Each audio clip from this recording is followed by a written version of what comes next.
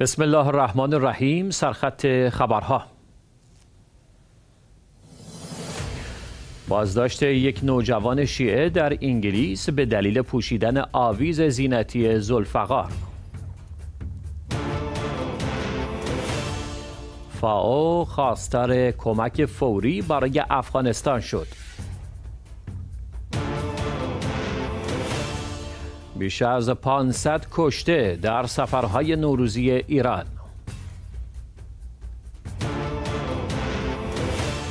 و تخریب قدیمی ترین مسجد گجرات هند توسط نیروهای دولتی.